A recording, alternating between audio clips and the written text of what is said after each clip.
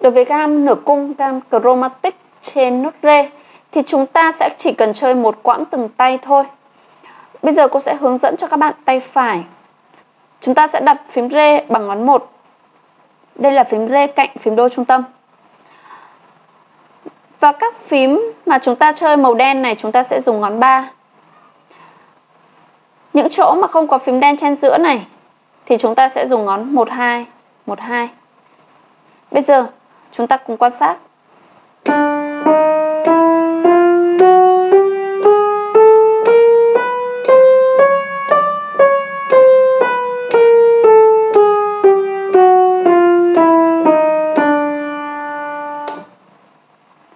Còn ở tay trái thì chúng ta cũng đặt nốt rê ngón 1.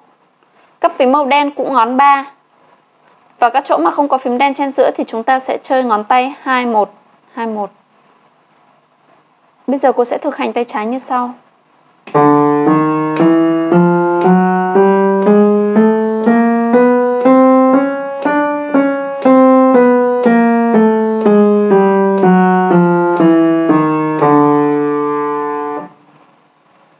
Như vậy, cô Hoàng Vân đã vừa hướng dẫn xong cho các bạn gam nửa cung trên nốt rê và chúng ta thực hành từng tay với đều nhịp tốc độ 66 nhé.